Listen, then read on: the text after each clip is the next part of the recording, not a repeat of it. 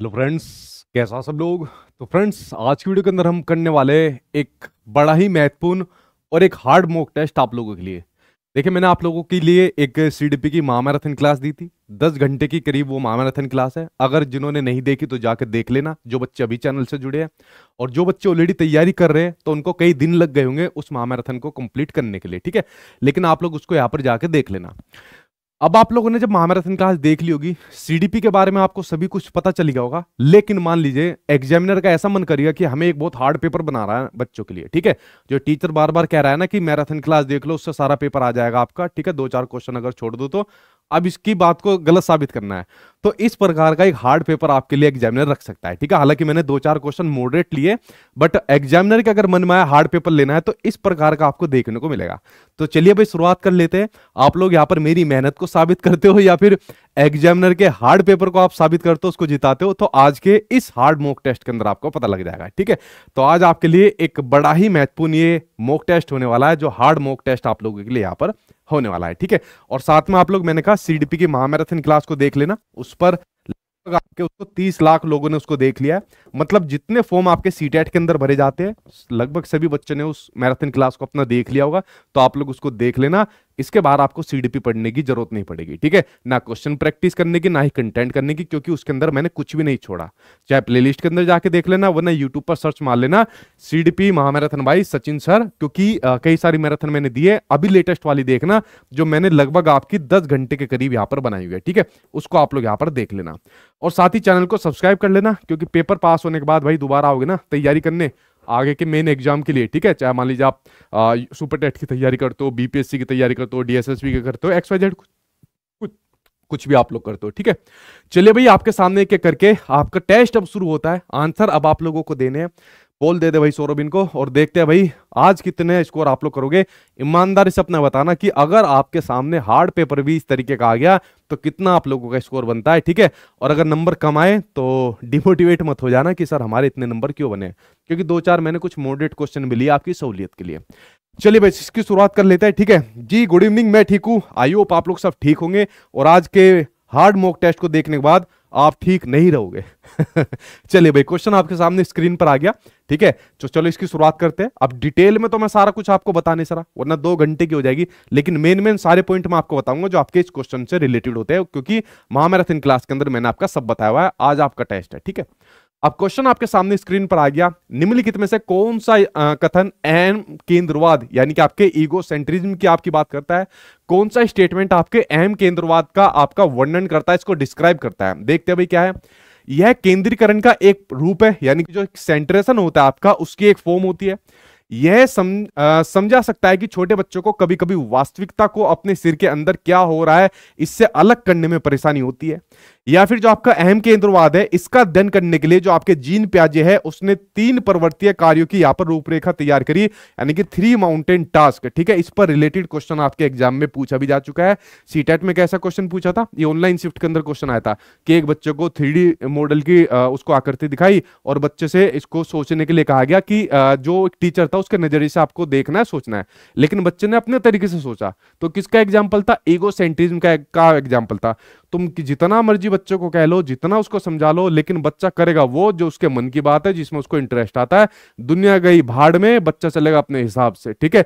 ये वाली जो अप्रोच यूज़ होती है आपकी अहम केंद्रवाद, यानी कि आपकी ईगो सेंट्रिज्म की होती है, जो मैंने आपको बताया था, ठीक है? अब बताओ भाई ईगो सेंट्रिज्म यानी कि अहम केंद्रवाद का कौन वर्णन करता है? आपके सामने स्क्रीन पर ऑप्शन है। जरा देखे भाई, आप लोग यहाँ पर किसके साथ जा रहे हो? बीबी के साथ ज़्यादातर जा रहे हो। बीबी क्या है भाई? किसके बीबी के साथ जा रहे हो? बीबी आपकी पहला, दूसरा, तीसरा। देखते हैं। यह सेंट्रेशन का एक फॉर्म होता है। बिल्कुल ठीक बात है। सेंट्रेशन का मतलब होता है जब बच्चा किसी चीज़ की सिर्फ़ एक विशेषता पर ध्यान देता है, दूसरे को नेग्लेक्ट कर देता है। जैसे मैंने आपको एक एग्ज़ाम्पल बताया था। मान लीजिए पेन का यूज़ बच्चा सोचता है, बस इसका लिखने के लिए यूज़ होता है।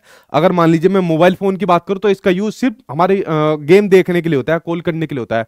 बाकी और इनकी विशेषताओं के ऊपर ध्यान नहीं जाता, ठीक है? तो ये बच्चा जब सिर्फ़ एक के परस्पेक्टिव को सोचता है, एक नज़रिए को सोचता है तो ये आपका सेंट्रेशन के अंदर सोचता है, यानी कि जो आपके एम केंद्रवाद को दर्शाता है, बिल्कुल ठीक पहला, ये आपका ठीक है। दूसरा कहता है यह समझा सकता है कि छोटे बच्चों को कभी कभी वास्तविकता को अपने सिर के अंदर क्या हो रहा है, उसको अलग करने में परेशानी होती है। मतलब जो यहाँ पर लोग सोच रहे हैं, जो लोग जिस तरीके से नज़रिए से बात कर रहे हैं तो बच्चों को बड़ी डिफिकल्टी होती है। यार, ऐसा क्यों हो रहा है? ऐसे ये सब चीज़ क्यों हो रही है? मेरे नज़रिए से तो ये चीज़ होनी चाहिए ना।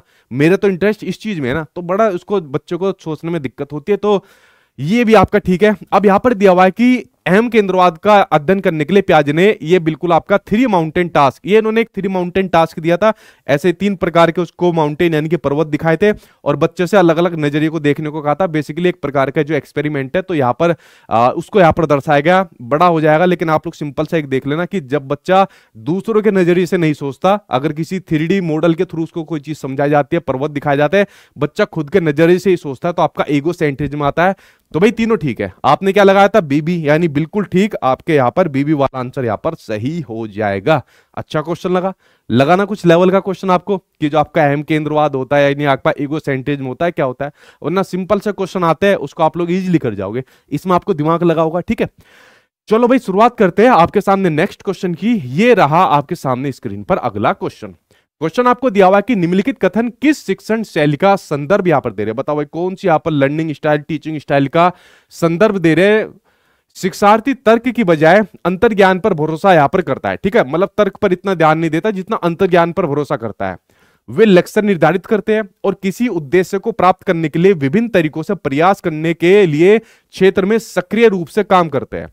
अब यहाँ पर बताना है कौन सी लर्निंग स्टाइल की बात है। आपकी एकोमोडेशन स्टाइल है एसिमुलेटिंग स्टाइल है डाइवर्जिंग स्टाइल है या फिर आपकी कन्वर्जिंग स्टाइल है, ठीक है? ये जो आपके लोरेंस कोल वर्ग है, उनके एक उन्होंने मॉडल दिया था लर्निंग स्टाइल के ऊपर तो अलग अलग प्रकार की उन्होंने लर्निंग स्टाइल बताई थी। अब सी में इतना लेवल नहीं होता, लेकिन फिर भी मैंने आपके लिए डाल दिया क्योंकि कन्वर्जिंग डाइवर्जिंग एसिमुलेटिंग और एकोमोडेटिंग इसके बारे में आपको बता रखा है, ठीक है? तो बताओ इसका सही आंसर क्या हो जाएगा, किसके साथ आप लोग जा रहे हो? ये फंस गए आप लोग यहाँ पर, ठीक है? अलग अलग के साथ आप लोग यहाँ पर जा रहे हो। देखो इसको ध्यान से देखना। कन्वर्जिंग का आपको बताइए जब कन्वर्जिंग स्टाइल के अंदर जब सिर्फ़ हम एक ही समाधान के थ्रू उसको पढ़ाते हैं, यानी जिसके अंदर कोई क्रिएटिविटी नहीं होती, ठीक है? और डाइवर्जेंट के अंदर आपको सिंपल पता है, जिसके अंदर क्रिएटिविटी होती है, कई तरीके से उसको कराते हैं। एसिमुलेट और एकोमोडेट आपको पता है, ठीक है? प्रीवियस नॉलेज के साथ नई नॉलेज को जोड़ना एसिमुलेशन और आपका एकोमोडेशन जब उस नॉलेज के अंदर हम मॉडिफाई उसको कर देते हैं। मॉडिफाई क्या, कैसे कर देते हैं? जब हम उसमें तर्क की बजाय अंतर ज्ञान पर भरोसा करते हैं, यानी कि उसको मॉडिफिकेशन हम करते हैं तो आपकी एकोमोडेशन आपकी स्टाइल हो जाएगी, ठीक है? अच्छा यार, मेरा एक क्वेश्चन आप लोगों से, इस क्वेश्चन को बताना। अगर मैं आपसे कहूँ कि जो बच्चा है, वो खुले दिमाग से कोई चीज़ को सोच रहा है, मैं यहाँ पर लिख देता हूँ। अगर बच्चा खुले दिमाग से किसी चीज़ को सोच रहा है, कमेंट बॉक्स में इसका आंसर बताना। खुले दिमाग से अगर बच्चा कोई चीज़ को सोच रहा है, या अपना पियर ग्रुप के अंदर कोई चीज़ को सीख रहा है, जो उसका सहपाठी अपना समूह होता है, पियर ग्रुप होता है, उसके बीडू लोग होते हैं, उसके माध्यम से कोई बच्चा सीख रहा है, अब मुझे बताओ, ये जो चारों आपकी लर्निंग स्टाइल है, कौन सी लर्निंग स्टाइल के अंदर यहाँ पर ये यह आ जाएगा, जिसमें बच्चा खुले दिमाग से सोच रहा है या फिर अपना जो मैंने लिखा हुआ है पियर ग्रुप के माध्यम से बच्चा सीख रहा है तो कौन सी लर्निंग स्टाइल के अंदर आ जाएगा? कमेंट बॉक्स में इसका जल्दी से आंसर दीजिए, क्या आंसर इसका हो जाएगा, ठीक है? तब तक मैं अगला क्वेश्चन पढ़ता हूँ। कमेंट बॉक्स में इसका मुझे आंसर आ जाना चाहिए। अगला क्वेश्चन आपके सामने दिया हुआ है। समावेशी शिक्षा, यानी कि जो इंक्लूसिव क्लासरूम होती है इंक्लूसिव एजुकेशन होती है, इसके संदर्भ में निम्नलिखित में से कौन सा स्टेटमेंट सही है? देखते हैं भाई। जो एकीकरण होता है, यानी कि जो आपका इंटीग्रेशन होता है, इसका यूज़ विकलांग बच्चों के लिए मौजूदा शिक्षक कार्यक्रम में विकलांग बच्चों की भागीदारी का वर्णन करने के लिए किया गया था, या फिर आपका दिया हुआ इंक्लूजन ठीक है? इंक्लूजन में आपका दिया हुआ कि शिक्षा की नियमित जो आपकी धारा है, मुख्य धारा है, उसमें विकलांग बच्चों को शिक्षा प्रदान करने के दृष्टिकोण को लागू करने के लिए समावेशन किया गया था। बताओ सही आंसर क्या हो जाएगा? किसके साथ आप लोग यहाँ पर जा रहे हो, ठीक है?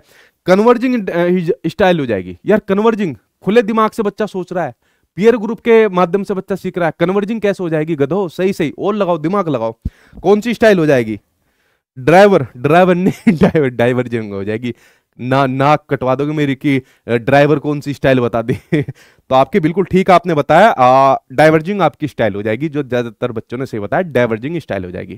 ठीक है? बिल्कुल ठीक है। अब इसका आप लोग बताइए। अब देखो, ये सब चीज़ मैं आपको एक्सप्लेन कर चुका हूँ। कि इंक्लूजन क्या होता है? समावेशी शिक्षा क्या होती है? एक्सक्लूजन सेग्रेशन इंटीग्रेशन अगर आप लोगों ने इसको नहीं देखा तो यार जाकर देख लेना। सब महामैराथन क्लास में मैंने इसको कंप्लीट किया हुआ है। सभी चीज़ों को डिटेल में आपको समझाया हुआ है। ठीक है? अब यही क्वेश्चन आपको पूछ रहा है कि जो आपकी इंक्लूसिव क्लास एजुकेशन है, जहाँ पर सभी बच्चों को समान शिक्षा दी जाती है बिना किसी भेदभाव के तो कौन सा स्टेटमेंट आपका सही हो जाएगा? जरा उसके बारे में आप लोग मुझे यहाँ पर बताइए, ठीक है? बताओ भाई, किसके साथ आप लोग यहाँ पर जा रहे हो? देखिए, आप लोग यहाँ पर दोनों के साथ चले जाना। इंटीग्रेशन ठीक है? इसका उपयोग जो विकलांग बच्चे हैं, उसके मौजूद शिक्षा कार्यक्रम में विकलांग बच्चों की भागीदारी का वर्णन करने के लिए किया गया था, ठीक है? जहाँ पर हम बच्चों को इंटीग्रेट करके पढ़ा रहे यानी जो, अरे ये क्या हो गया भाई? ये पिक्चर कैसे ली? एक सेकंड भाई। यानी जो यहाँ पर ये सामान्य बच्चे हैं, ये ग्रीन डॉट वाले आपके सामान्य बच्चे हैं और जो यहाँ पर आपके असामान्य बच्चे, दिव्यांग बच्चे हैं, इन सभी को यहाँ पर सामान्य बच्चों के साथ इंटीग्रेट करके पढ़ाया जा रहा है। तो पहले के साथ भाई हम लोग यहाँ पर चले जाएँगे, ठीक है? इसका वर्णन करने के लिए किया गया था? और यहाँ पर इंक्लूजन की बात हो रही है तो शिक्षा की नियमित धारा में विकलांग बच्चों को शिक्षा प्रदान करने के दृष्टिकोण को लागू करने के लिए किया गया था? तो आप लोग दोनों के साथ यहाँ पर चले जाना, ठीक है? चलिए भाई, बढ़ते अब आपके सामने नेक्स्ट के ऊपर, बढ़ लेते हैं। नेक्स्ट क्या है सर सीटेट फॉर्म बढ़ने पर डेट ऑफ़ बर्थ गलत हो गया। अब दिल्ली सीबीएसई बोर्ड से ठीक होगा। अगर आपकी डेट ऑफ़ बर्थ गलत हो गया है तो दिल्ली मत जाइए, उनको मेल कर दीजिए मेल पर आपका ठीक हो जाएगा। अगर मेल पर वो बोर्ड वाले आपका जवाब नहीं देते, फिर आपको डेली जाना पड़ेगा। पड़पड़गंज के अंदर आपकी सीटेट की यूनिट है, ऊपर थर्ड फ्लोर पर जाओगे गेट पर ही आपको एक पर्चा सा लिखा हुआ मिलेगा, शायद अब आपका हटेगा वो अलग बात है। उसमें कुछ आपके डॉक्यूमेंट लिखे हुए उनको लेकर चले जाना, ठीक है? मैं, अगर मेरे पास होगा, मैं आपको सेंड कर दूँगा अपने टेलीग्राम पर, सचिन अकेडमी पर, उन डॉक्यूमेंट को लेकर चले जाना। एक महीने का लगभग प्रोसेस होता है। आपकी जो भी गलती हो डेट ऑफ़ बर्थ के बर्थ की गलती हो माता पिता के नाम की गलती हो, खुद की गलती हो मेल से फीमेल बन गए हो, वो सभी उसके अंदर आपकी ठीक हो जाएगी, टेंशन मत लेना, ठीक है? अगला क्वेश्चन आपके सामने दिया हुआ है सहयोगात्मक शिक्षण पद्धति, यानी यहाँ पर बात हो रही है आपके कोलेबरेटिव लर्निंग मेथड की बात हो रही है। और कोलेबरेटिव लर्निंग मेथड क्या होता है? ये आपका पॉजिटिव होता है नेगेटिव होता है। ये जरा कमेंट बॉक्स में बताइए, ठीक है? तो कोलेबरेटिव लर्निंग मेथड के संदर्भ में निम्नलिखित में से कौन सा स्टेटमेंट सही नहीं है? नेगेटिव आपसे पूछा है। शिक्षण और सीखने की एक विधि, जिसमें छात्र और शिक्षक एक साथ मिलकर एक महत्वपूर्ण प्रश्न का पता लगाते हैं या एक सार्थक परियोजना बनाते हैं। अच्छा भाई, यह उस कार्य प्रणाली और वातावरण को संदर्भित करता है, जिसमें शिक्षार्थी एक सामान्य कार्य में इंगेज होते हैं और जहाँ प्रत्येक व्यक्ति एक दूसरे के बारे में पता लगाता है और एक दूसरे के प्रति जवाबदेही भी होता है। ठीक है, बस यही काम रह गया। बताओ भाई, किसके साथ आप लोग जाओगे? सही आंसर क्या हो जाएगा? जल्दी से इसका आप लोग आंसर बताइए। क्या आंसर यहाँ पर आपका सही हो जाएगा? ठीक है पॉजिटिव होता है। पॉजिटिव क्या होता है? क्या पूछा था मैंने भी आपसे? मैं खुद ही भूल गया, मैंने आपसे क्या पूछा था। अच्छा कोलेबरेटिव लर्निंग कोलेबरेटिव लर्निंग बिल्कुल ठीक बात है। ये आपका पॉजिटिव होता है। कोलेबरेटिव हो कोऑपरेटिव हो, आपको ध्यान है? ये आपके लर्निंग के मेथड्स होता है। वाइगोस की आपकी जब मैंने थ्योरी पढ़ाई थी, जब भी मैंने आपको बताया था कोलेबरेटिव यानी जब बच्चा आपस में कोलेब करके आपस में एक दूसरे से परस्पर रूप से यहाँ पर सीखता है तो आपकी कोलेबरेटिव लर्निंग मेथड होता है, जो कि आपका पॉजिटिव होता है। आपको बताना है कौन सा ठीक नहीं है। नेगेटिव के बारे में आपको अपना आंसर देना है, ठीक है?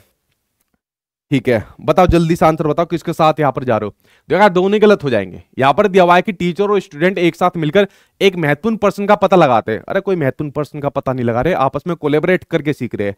टीचर बच्चों को कुछ सिखा रहा है, बच्चे आपस में पीयर ग्रुप के माध्यम से कुछ सीख रहे हैं, ठीक है? तो जो आपका चाइल्ड सेंटर्ड के अंदर आपका अकाउंट माना जाता है, इसलिए आपका बड़ा पॉजिटिव मेथड होता है, ठीक है?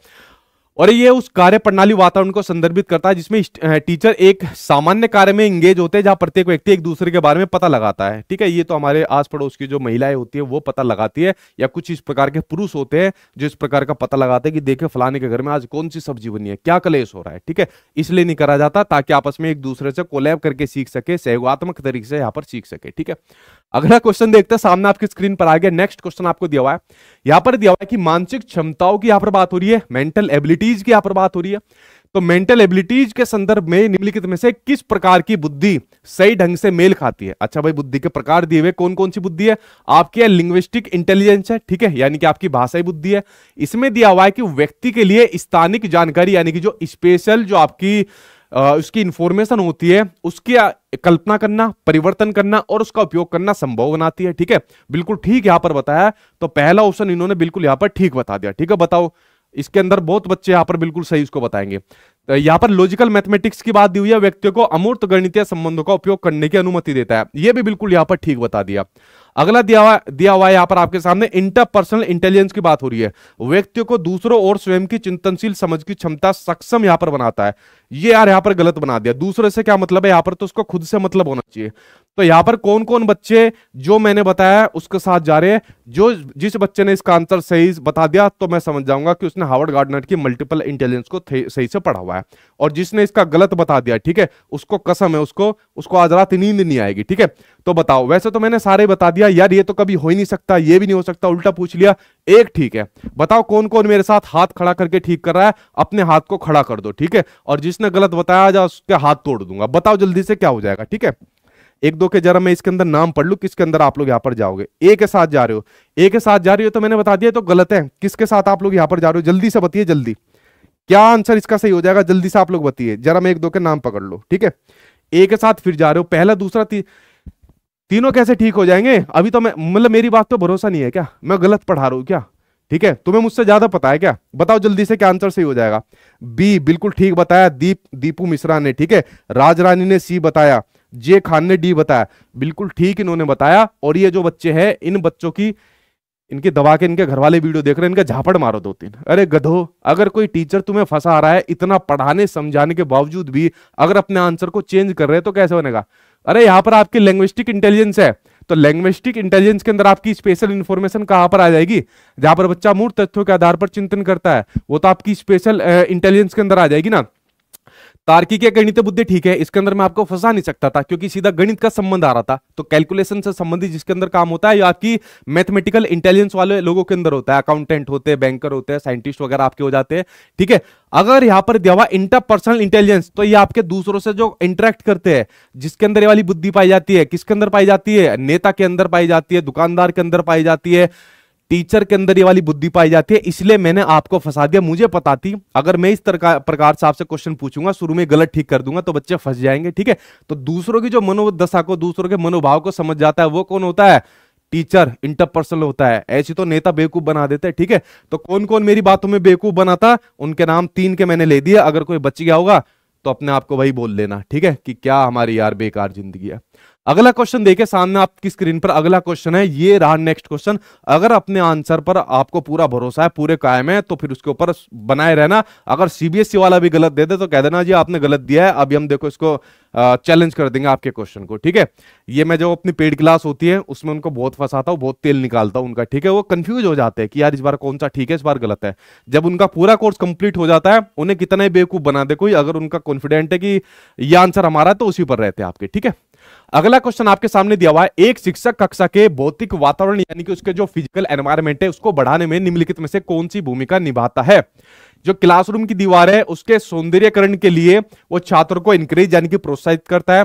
कक्षा शुरू होने से पहले सुनिश्चित करे कि जो क्लास है, वो साफ़ सुथरी हो। बताओ सही आंसर आपका क्या हो जाएगा? किसके साथ आप लोग यहाँ पर जा रहे हो? जल्दी जल्दी आंसर यहाँ पर आपका बताइए, ठीक है? और कौन कौन इसके अंदर फंसे थे, ठीक है? सर, मेरा तो ठीक ही था, फरीन, ठीक है? फरीन, ठीक आपका था, लेकिन ये नहीं बताया कि सर कन्फर्म है हम इसके ऊपर, ठीक है? फंस गए थे आप, ठीक? मुझे भी बुद्धू बनाया सर आपने। अरे, आप तो बुद्धू हो, बुद्धू बनाने की क्या ज़रूरत है? बताओ, जल्दी आंसर बताओ। किसके साथ जा रहे हो? थर्ड के साथ जा रहे हो? पक्का? थर्ड का मतलब क्या है? पहला और दूसरा? चलो, ठीक है, चला जाता हूँ आपके साथ। क्योंकि यहाँ पर क्लासरूम का जो एनवायरमेंट है ना तो उसकी भूमिका के बारे में बात हो रही है।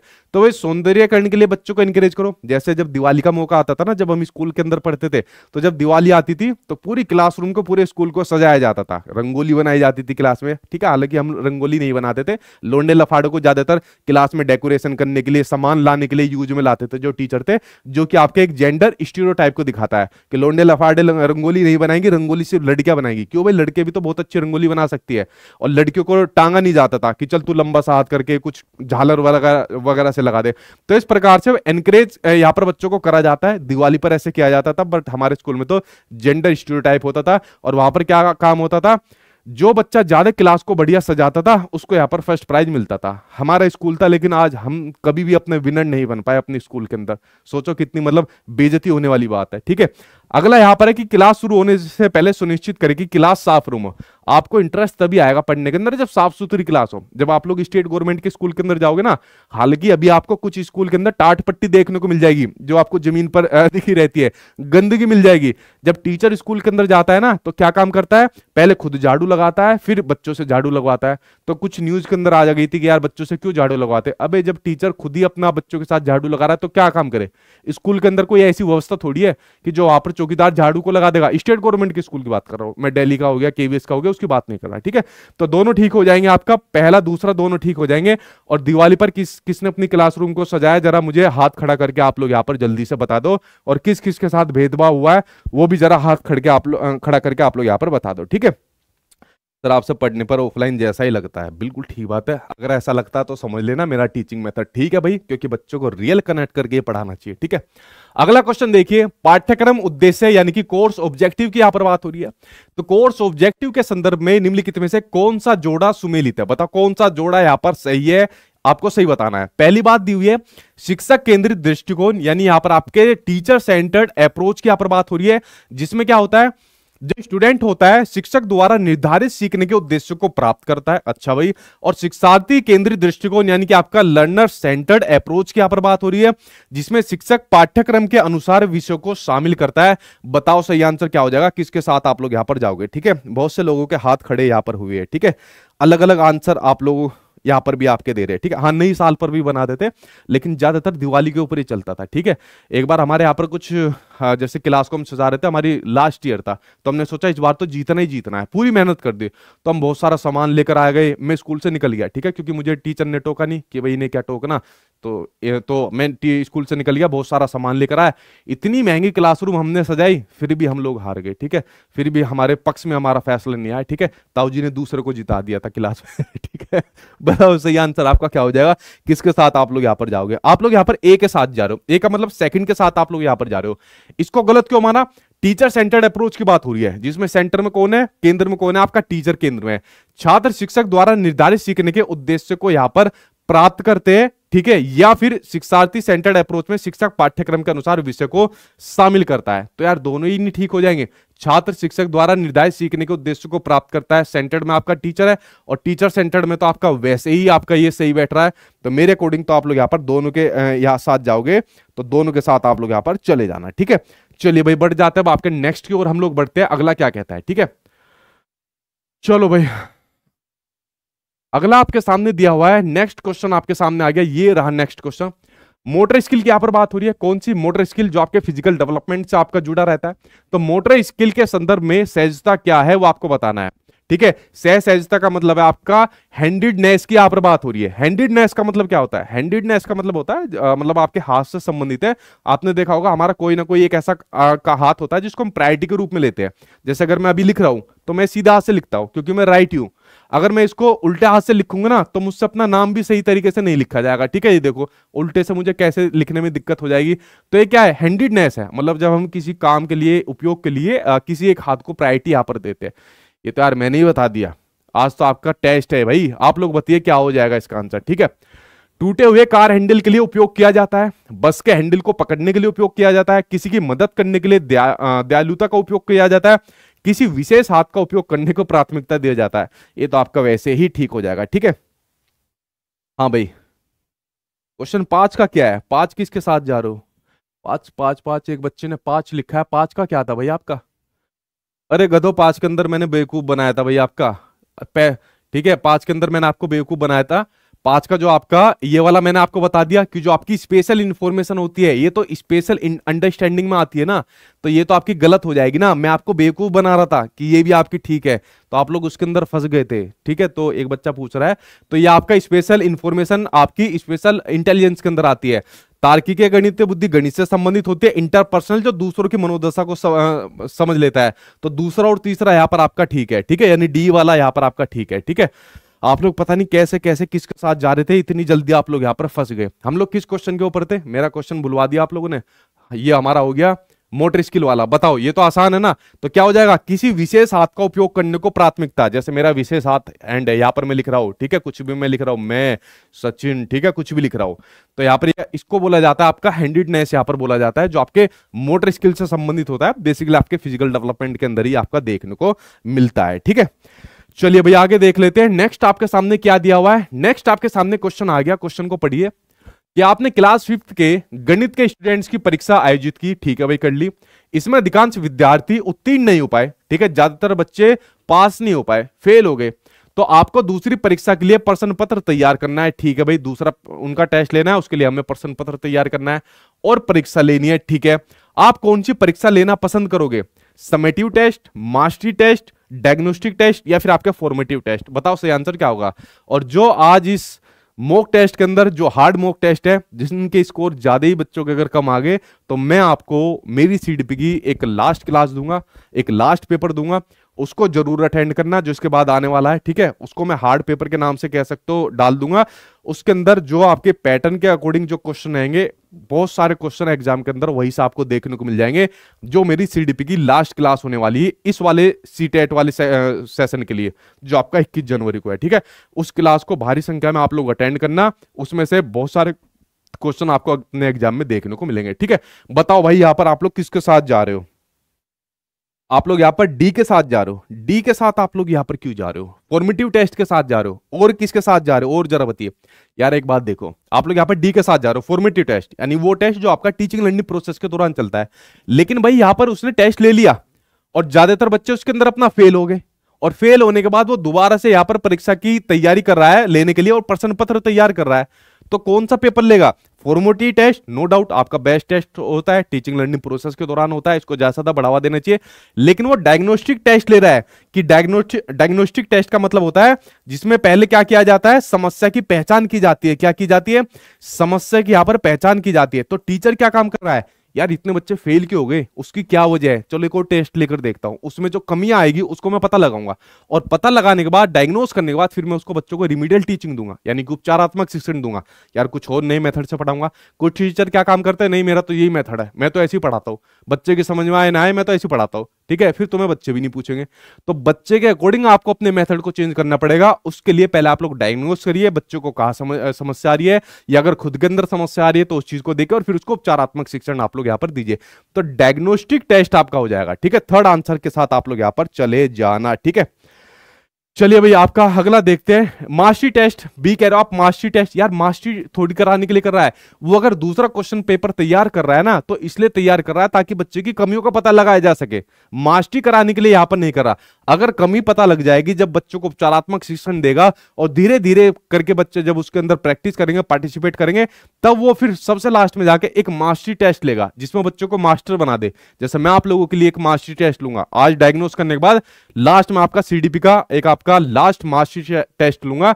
जिसमें मुझे आप लोगों को उसके अंदर मास्टर बनाना है, यानी निपुण बनाना है, जो कि सीडपी महामैराथन क्लास में मैंने आपको बना रखा है, ठीक है? चलिए अगला क्वेश्चन देखते हैं, सामने आपकी स्क्रीन पर नेक्स्ट क्वेश्चन आ गया। भावनात्मक विकारों, यहाँ पर बात हो रही है, आपके इमोशनल डिसऑर्डर की बात हो रही है। कोई को कौन कौन यहाँ पर इमोशनली रूप से डेवलप है? हाथ खड़ा कर दो जरा, ठीक है? ईमानदारी से बता दो। तो इमोशनल जो डिसऑर्डर होते हैं, उसके संदर्भ में जो बचपन का जो अवसाद है, वो क्या होता है? यानी जो चाइल्डहुड का जो आपका डिप्रेशन होता है, वो क्या होता है? बताओ। इमोशनल डिसऑर्डर के ऊपर यहाँ पर बात हो रही है। कोई आदमी को अपने इमोशन पर कंट्रोल नहीं है, या बहुत जल्दी वो भावुक हो जाता है, बहुत जल्दी वो गुस्से के अंदर हो जाता है तो इमोशनल डिसऑर्डर के अंदर ये आपका ऐसे काउंट होते हैं। तो कौन सा आपका इसमें चाइल्डहुड का डिप्रेशन है? बचपन का कौन सा डिप्रेशन है, वो आपको बताना है। मनोदशा संबंधित विकारों में लंबे समय तक मित्रहीनता और थकान की भावना जैसे लक्षण दिखाई देते हैं। दोहराए जाने वाले या घुसपैठ करने वाले विचारों, छवियों या अनुष्ठानिक व्यवहारों अनुष्ठानिक व्यवहारों से उत्पन्न चिंता होती है। बताओ सही आंसर क्या हो जाएगा? किसके साथ आप लोग यहाँ पर जा रहे हो? ठीक है? सर, फ़ोटो दिख रहा है, एडमिट कार्ड नहीं जनरेट हुआ है इमेज पेंडिंग की वजह से, लेकिन कंफर्मेशन पेज में इमेज रिमूव करने का ऑप्शन नहीं दिख रहा है। ठीक है? यार अगर इमेज दिख रहा है आपको एडमिट कार्ड में जनरेट नहीं हुआ है इमेज पेंडिंग की वजह से लेकिन कंफर्मेशन पेज में। देखो वैसे ऐसे कुछ दिक्कत नहीं होने की लेकिन पता है क्या अभी वेबसाइट के ऊपर काफ़ी टाइम मतलब काफ़ी लोड है काफ़ी काम चल रहा है। तो कुछ बच्चों के तो एडमिट कार्ड भी डाउनलोड नहीं हुए तो आप थोड़ा सा वेट कर लो। अगर फिर भी आपका सम, समाधान नहीं होता ना तो दो दिन पहले आपका फाइनल एडमिट कार्ड आ जाएगा उसमें सभी चीज़ आपको मिल जाएगी। तो बेफिक्र रहिए कोई आपकी बड़ी समस्या नहीं है उसके लिए आप लोग बेफिक्र रहिए। बताओ भाई तब तक आप लोग किसके साथ यहाँ पर जा रहे हो? आप लोग फोर्थ के साथ जा रहे हो पहले के साथ जा रहे हो? बस। दूसरे के साथ नहीं जा रहे, क्योंकि जो आपका मूड डिसऑर्डर है, आप में से बहुत बच्चों के मूड डिसऑर्डर हो रखे होंगे, यार। जैसे जैसे पेपर नज़दीक आ रहा है, बहुत डर लगता जा रहा है, बहुत एंजाइटी फील होती जा रही है, घबराहट होती जा रही है, पता नहीं क्या होगा पास होंगे नहीं होंगे। तो अगर मैं बात करूँ इमोशनल डिसऑर्डर की, लेकिन आपके अंदर कोई इस प्रकार का डिसऑर्डर नहीं है, ठीक है? तो ये आपकी जो मनोदशा संबंधी जो विकार है, उसमें लंबे समय तक मित्रहीनता की और थकान की भावना जैसे इसके अंदर आपके लक्षण दिखाए जाते हैं, जो आपके बिल्कुल यहाँ पर ठीक हो जाएगा, ठीक है? जो इसके आपके चाइल्डहुड के डिप्रेशन का पहला है, दोहराए जाने वाले या घुसपैठ करने वाले विचार को तो देखते गलत काट दो, जो इन व्यवहारों से आपके उत्पन्न होता है। पहला यहाँ पर आपका ठीक हो जाएगा। बढ़ते अब आपके सामने नेक्स्ट की ओर। अगला क्वेश्चन के ऊपर हम लोग यहाँ पर नज़र डालते हैं। नेक्स्ट क्वेश्चन आपके सामने क्या दिया हुआ है? नेक्स्ट क्वेश्चन आपके सामने, निम्नलिखित में से कौन सा अनुशासनहीनता का शिक्षक जनित कारण है? यहाँ पर आपका दिया दिया हुआ है which of the following is a teacher generated cause of indiscipline बताओ। अनुशासनहीनता इनडिसिप्लिन और एक टीचर को बच्चों को डिसिप्लिन में रखना चाहिए नहीं रखना चाहिए? बताओ कमेंट बॉक्स के अंदर, जल्दी आंसर बताओ, ठीक है? क्या कारण है? छात्रों की समस्याओं के प्रति उदासीनता, ठीक है? या सेकंड खराब शिक्षण पुअर टीचिंग या भेदभावपूर्ण व्यवहार। बताओ कौन सा आपका इनडिसिप्लिन का जो टीचर जनित कारण है, वो आपको बताना जल्दी से आंसर आप लोग यहाँ पर बताइए, ठीक है? जल्दी जल्दी बताइए आप लोग, ठीक? सर, मुझे बहुत डर लग रहा है, मैं पास हो जाएँगे देखिए यार जैसे जैसे एग्ज़ाम नज़दीक आता है, डर लगता है, टेंशन लगती है। अभी मैंने आपके लिए हार्ड मॉक टेस्ट ले दिया, इसी से आपको डर लग जाएगा। लेकिन आप टेंशन मत लो, जो आपका सिलेबस है, जो पैटर्न है वो जितनी चीज़ आपको मैंने पढ़ा रखी है ना, उससे बाहर पेपर नहीं जाएगा। अगर आप लोगों ने सीडीपी की दस घंटे की क्लास ले ली ना, उससे बाहर आपकी सीडीपी नहीं आएगी। अगर दो चार, अगर मैंने क्वेश्चन को छोड़ दूँ तो बस, वरना तीस में से तीस पूरे उसके अंदर आप लोग लाओगे, ठीक है? तो डर लगता जाता है, कोई भी आप लड़ाई के अंदर जाओ, किसी काम के लिए जाओ तो डर लगेगा। मुझे दुनिया के अंदर हर किसी को लगता ही है किसी को कम लगता है, किसी को ज़्यादा लगता है, ठीक है? बताओ भैया, आप लोग यहाँ पर जा रहे हो फोर्थ के साथ, पहला, दूसरा, तीसरा, सारे ठीक हो जाएँगे। क्यों? इनडिसिप्लिन की यहाँ पर बात हो रही है, अनुशासनहीनता की यहाँ पर बात हो रही है। अगर छात्रों की समस्याओं के प्रति उदासीनता रहेगा, अरे यार छोड़, डर लग रहा है तो मैं क्या करूँ? डर लग रहा है तो जाके पेपर मत दो, ठीक है? मुझे क्या करना देना तुम्हारे डर से? बेवकूफ़ कहीं के। मतलब मैं कह रहा हूँ, अगर ऐसे उदासीन है कोई टीचर मैं ऐसे नहीं बोल रहा आपको, ठीक है? तो कभी मुझे बकना शुरू कर दो। या उसका खराब टीचिंग है, अगर उसकी पुअर टीचिंग है तो यहाँ पर इनडिसिप्लिन को आपको यहाँ पर दर्शा देगा, ठीक है? इनडिसिप्लिन का आपका शिक्षा जनित आपका कारण हो जाएगा। या फिर भेदभावपूर्ण व्यवहार करता है। डर लग रहा है तुम्हें। लड़की हो होकर तो तुम डरोगी और तुम्हें करना ही क्या है? तुम गाँव देहात के बच्चे हो, तुम्हें तो डर लगेगा अगर ऐसी बात बोलता तो समझ लेना, टीचर जेंडर वाइज यहाँ पर कर रहा है। जेंडर स्टूडियो टाइप दिखा रहा है। गाँव के बच्चों के प्रति, कमज़ोर लोगों के प्रति, लड़कियों के प्रति, ठीक है? तो ये तीनों ही फैक्टर हो जाएँगे जो इसके आपके खोज होते हैं। आंसर आपका मतलब तीनों ठीक है। डी वाला आंसर यहाँ पर आपका सही हो जाएगा। अगला क्वेश्चन देखते हैं। सामने स्क्रीन पर आगे नेक्स्ट क्वेश्चन कि प्रारंभिक वर्षों में संज्ञानात्मक विकास यानी कि आपके कोग्नेटिव डेवलपमेंट निम्नलिखित में से किससे काफ़ी प्रभावित होता है? इमोशनल डेवलपमेंट से लैंग्वेज डेवलपमेंट से क्रिएटिविटी से या फिर आपके सोशल डेवलपमेंट से? बताओ। ये आपके लैंग्वेज डेवलपमेंट के जो आपके डोमेन है, मैंने आपको बता चुका हूँ। मुख्यतः आपके तीन डोमेन होते हैं फ़िज़िकल आपका डोमेन होता है कोग्नेटिव डोमेन होता है, और आपका सोशियो इमोशनल आपका डोमेन होता है, ठीक है? अब आपको बताना है कि जो आपका कोग्नेटिव डेवलपमेंट होता है, संज्ञानात्मक विकास, ठीक है? दिमाग का विकास होता है, किससे सबसे ज़्यादा प्रभावित होगा? जरा उसके बारे में आप लोग यहाँ पर आंसर मुझे दीजिए, ठीक है? ठीक है। आप लोग यहाँ पर बी के साथ जा रहे हो, किसके साथ? लैंग्वेज डेवलपमेंट ठीक है भाई लैंग्वेज डेवलपमेंट को आप बिल्कुल ठीक कर सकते हो। क्यों? क्योंकि आपके कोग्नेटिव डेवलपमेंट की बात हो रही है किसके अंदर? प्रारंभिक वर्षों के अंदर। जैसे मैंने आपको बताया कि अगर मान लीजिए बच्चे की भाषा का विकास होता है तो शुरू में जन्म के बाद बच्चा रोता है, दो से तीन महीने का बच्चा कोइंग करना शुरू कर देता है, छह महीने का बच्चा अपना बबलिंग करना शुरू कर देता है। एक साल का जो बच्चा होता है, आपका दो तीन शब्दों का भंडार आ जाता है, ठीक है? उसके बाद एक शब्द अवस्था दो शब्द अवस्था जो चलती है, डेढ़ साल के बच्चे के अंदर आपकी टेलीग्राफिक स्पीच आ जाती है और दो साल के बच्चे पर सौ शब्दों का भंडार आ जाता है। तो आपको ने एक बात देखी होगी, जब बच्चों का यहाँ पर शब्द भंडार बढ़ता है ना, और जब बच्चा अर्ली चाइल्डहुड के अंदर जाता है, प्रारंभिक बाल्यावस्था के अंदर जाता है, उस प्रारंभिक बाल्यावस्था को सबसे सेंसिटिव आपकी स्टेज माना जाता है। चाहे लैंग्वेज डेवलपमेंट की बात करें कॉग्निटिव डेवलपमेंट की बात करें, या सोशल डेवलपमेंट की बात करें, क्योंकि उस अवस्था के अंदर बच्चा क्या करता है, सारी चीज़ों का इमिटेशन कॉपी करता है। अपनी फैमिली से, आसपास के माहौल से। तो अगर मैं यहाँ पर बात करूँ आपके कोग्निटिव डेवलपमेंट की, प्रारंभिक वर्षों की बात करें तो सबसे ज़्यादा जो प्रभावित होता है वो लैंग्वेज डेवलपमेंट से होता है। भाषा से यहाँ पर प्रभावित होता है, भाषा के विकास से यहाँ पर प्रभावित होता है। सेकंड आंसर यहाँ पर आपका सही हो जाएगा। नेक्स्ट क्वेश्चन आपके सामने स्क्रीन पर आ गया। सीखने के किस दृष्टिकोण को स्वनियामक शिक्षण, यानी यहाँ पर बात हो रही है सेल्फ रेगुलेटरी लर्निंग की बात हो रही है। अच्छा मैंने आपको बताई थी वाइगोस्की की। जो इन्होंने तीन प्रकार की स्पीच दी थी सोशल स्पीच प्राइवेट स्पीच और आपकी इनर स्पीच ठीक है? जो प्राइवेट स्पीच और इनर स्पीच होती है, अपने काम को रेगुलेट करने के लिए बच्चा जिस स्पीच का यूज़ करता है तो आपकी, ये मैंने बताई थी प्राइवेट के अंदर बोल बोल के करता है, खुद से बात करता है इनर स्पीच के अंदर खुद ही खुद बोलता है और अपने काम को करता रहता है। लेकिन यहाँ पर आपको दिया है सेल्फ रेगुलेटरी लर्निंग की यहाँ पर बात हो रही है एस एल की बात हो रही है। तो आपको यह बताना है कि ये आपके सीखने के किस दृष्टिकोण को आपको कहा जाएगा? क्या सोशल लर्निंग की बात हो जाएगी? यानी सामाजिक शिक्षा की बात हो जाएगी? क्या कम्युनिटी लर्निंग की बात होगी? ग्रुप लर्निंग की बात होगी? या इंडिविजुअल लर्निंग की बात होगी? इतना हिंट आपको दे दिया। अब तो आंसर सही बता देना। बताओ सही आंसर आपका क्या हो जाएगा? किसके साथ आप लोग यहाँ पर जा रहे हो? ठीक है? हाँ बताओ। ठीक है? सर, आज बहुत गलत हो रहा है। आज तो गलत हो गई। देखो यार सिंपल सी बात है सेल्फ रेगुलेटरी लर्निंग खुद को रेगुलेट करने के लिए जो लर्निंग कर रहा है तो खुद के लिए कर रहा है तो आपकी इंडिविजुअल लर्निंग हो जाएगी भाई आपकी व्यक्तिगत, आपकी, देखो यार लर्निंग की जगह क्या लिखा हुआ है? यहाँ पर व्यक्तिगत अधिगम आप लोग लिख लेना, ठीक है? चलिए भाई आगे देख लेते हैं नेक्स्ट क्वेश्चन आपके सामने स्क्रीन पर आ गया, ये रहा नेक्स्ट क्वेश्चन जो आपको दिया हुआ है। क्वेश्चन आपके सामने है कि लोरेंस कोलबर्ग ने किशोरों के किशोरों के बीच नैतिक निर्णय का अध्ययन किया और नैतिक विकास के तीन प्रमुख स्तर बताए। कितने स्तर बताए, कितने लेवल बताए? तीन लेवल बताए और तीन लेवल की दो दो स्टेज बताए तो छह स्टेज होगी। तीन लेवल और छह स्टेज ठीक है?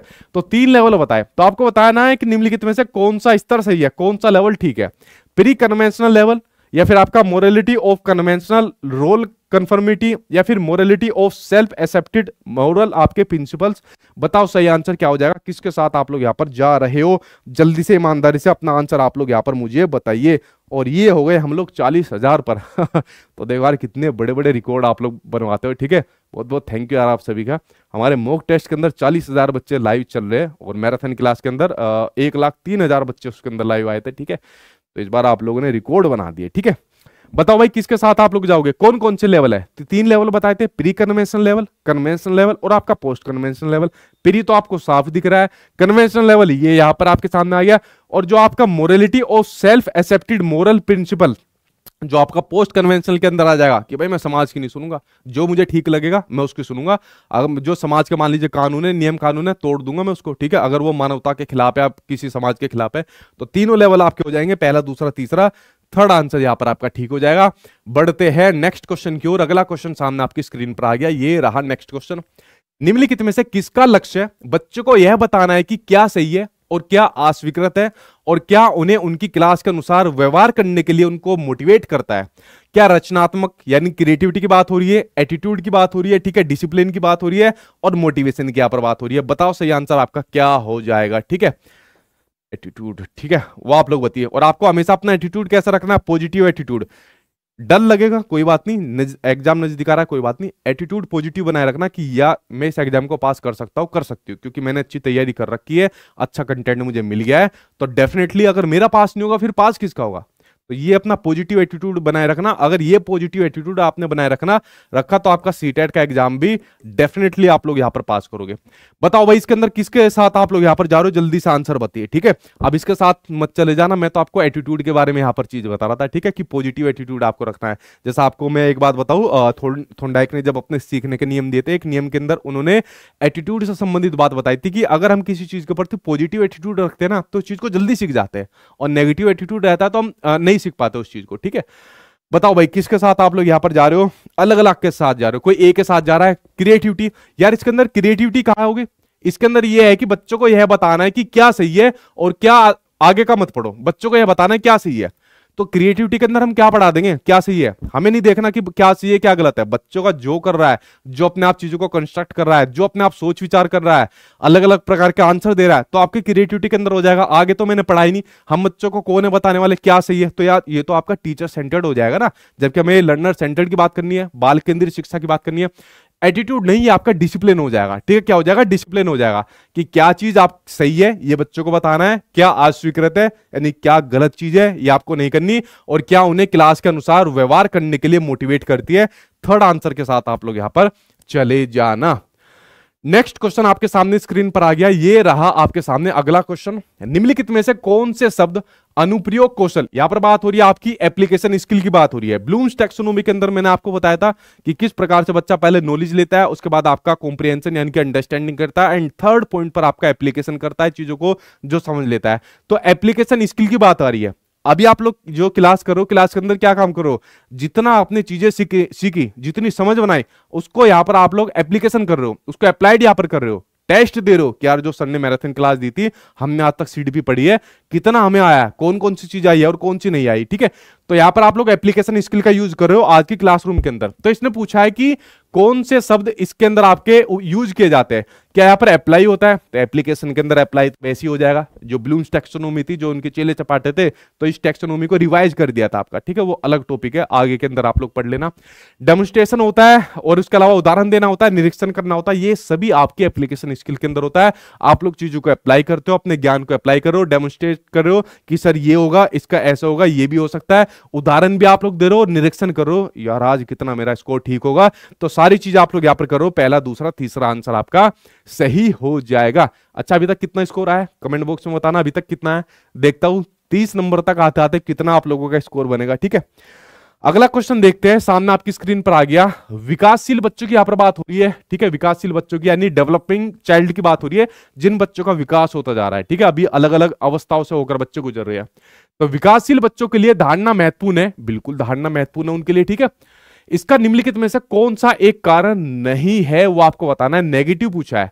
हैंड आई कोऑर्डिनेशन की बात हो रही है। एक्विजिशन ऑफ़ नॉलेज की बात हो रही है। रेशनलाइजेशन ऑफ़ चाइल्ड व्यूज़ की बात हो रही है, यानी कि बच्चे के युक्तिकरण की बात हो रही है, या मेमोरी यानी कि उनकी स्मृति की बात हो रही है। बताइए सही आंसर आपका क्या हो जाएगा, ठीक है? अभिमन्यु कुमार, आज बहुत गलत हो रहा है सर यार, मैंने आज डिफ़िकल्ट लैंग्वेज आपको दी है।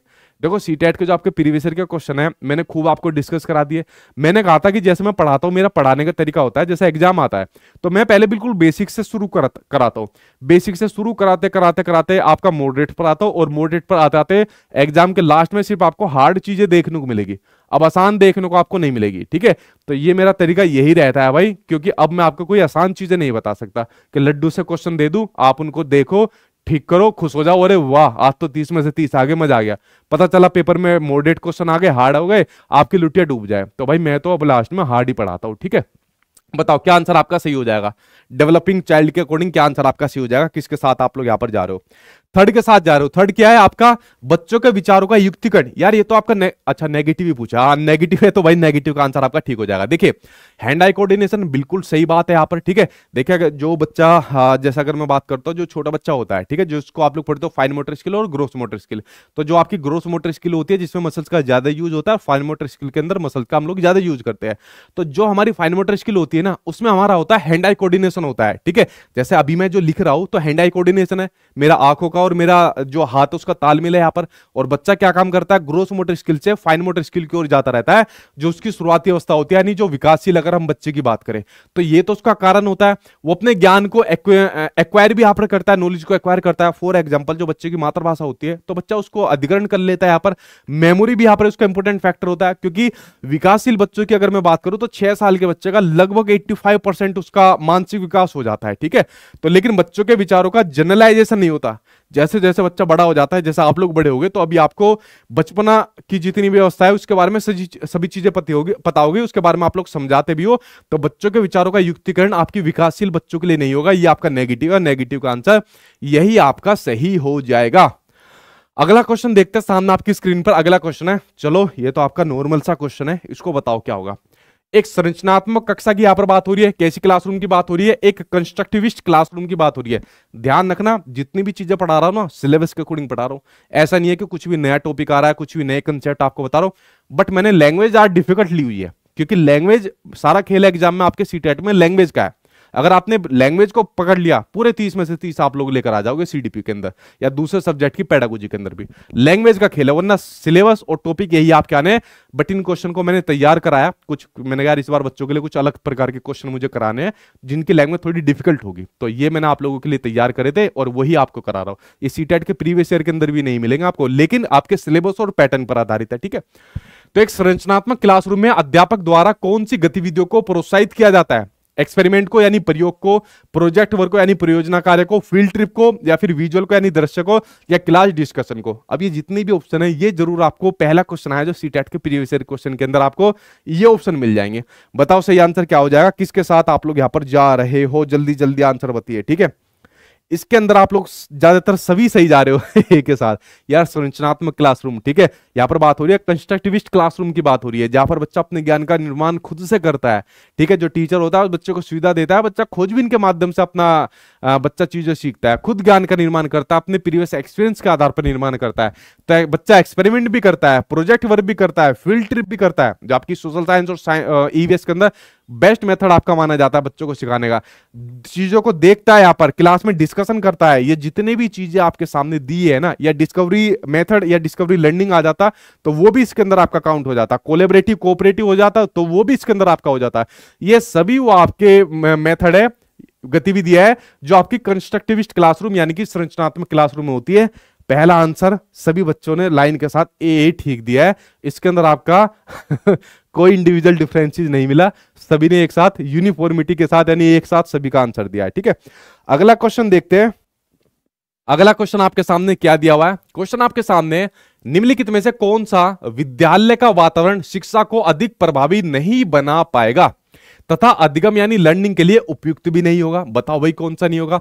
अध्यापक बच्चों को समझने वाला तथा उनके साथ मित्रवत व्यवहार करने वाला हो। अच्छा जी, शिक्षण अधिगम सामग्री उपयुक्त स्थान पर रखी हुई है तथा प्रचुर मात्रा में बच्चों के लिए उपलब्ध है। ठीक है कमरा बड़ा है तथा स्वतंत्र गतिविधि, यानी बच्चा अपना फ्रीडमली अपना एक्टिविटीज़ करने के लिए उपयुक्त जगह है, या कमरे में प्रकाश तथा हवा का आवागमन का उपयुक्त रूप से नहीं है। बताओ कौन सा आपका अधिगम के लिए उपयुक्त नहीं होगा? नेगेटिव बताइए आप लोग को नेगेटिव का भाई आंसर आपको नेगेटिव बताना है, ठीक है? ठीक है भाई। सर प्लीज़ बताइए मैंने दोनों पेपर भर दिया है क्या मुझे दोनों पेपर आ, देने होंगे क्या? देखो अगर आपने दोनों पेपर भर दिए तो दोनों पेपर दे सकते हो लेकिन आपका वैलिड नहीं है क्योंकि आपको पता है सुप्रीम कोर्ट का जो डिसीज़न आया था अगस्त अगस्त के अंदर ठीक है? तो बी वाले कैंडिडेट थे तो उनको बाहर कर दिया गया था वो सिर्फ़ पेपर टू दे सकते हैं आपका ठीक है? नॉलेज देने के लिए आप लोग दे देना कोई आपको रोकेगा नहीं वहाँ पर चेक नहीं करेगा आपको कि भाई आपने बी किया है क्या किया है लेकिन समस्या तो यही आपको निकाल दिया गया है ठीक है? चलो भाई किसके साथ आप लोग यहाँ पर जा रहे हो? आप लोग जा रहे हो यहाँ पर फोर्थ के साथ। कमरे में प्रकाश तथा हवा का आवागमन उपयुक्त रूप से नहीं है। तो ये आपका नेगेटिव है, ठीक है? देखो सिंपल सी, देखो पॉजिटिव की अगर मैं बात बताऊँ कैसा व्यवहार होना चाहिए? मित्रवत व्यवहार होना चाहिए। अच्छा जितना भी आप लोग मुझसे अभी तक पढ़ रहे हो, शुरू से पढ़ रहे हो तो क्या मेरा व्यवहार आपको बिल्कुल ऐसा लगा था, खड़ूस टाइप या इस तरीके से? मित्रवत व्यवहार आपको मिलेगा। आपने कहा, सर, ये भी मैराथन दो। मैंने कहा, चलो ले लो। सर, ये भी चीज़ करिए। मैंने कहा, चलो कराइए रात रात तक जगाइए। तो मित्रवत व्यवहार।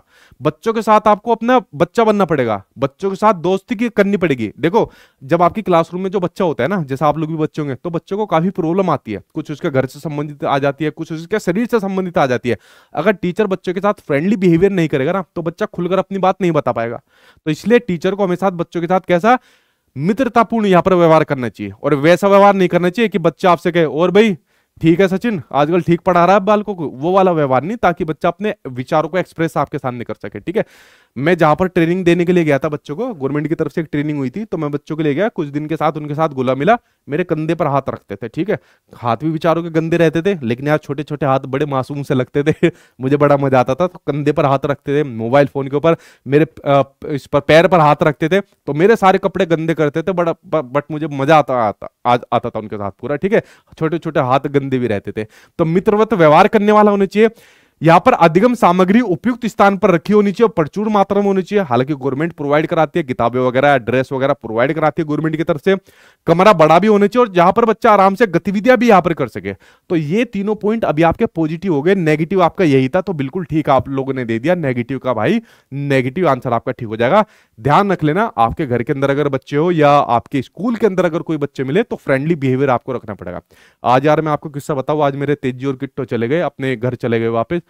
इतना बुरी तरीके से वो रोए खूब मतलब आँखों से आँसू आके मेरे भी आँसू आ गए, ठीक है? तो मतलब देखो हम लोग उनसे अगर बच्चों से इतना प्यार करेंगे, उल्टा हमसे ज़्यादा प्यार करेंगे। तो बहुत खूब मेरे से गले लग के रोए थे दोनों के दोनों, खूब तेज तेज आवाज़ में रोए, ठीक है? आँखों से इतने आँसू आ गए, मेरी भी एक बारी को आँसू आ गए, वरना मेरी आँखों में ज़्यादा आँसू आते नहीं है, ठीक है?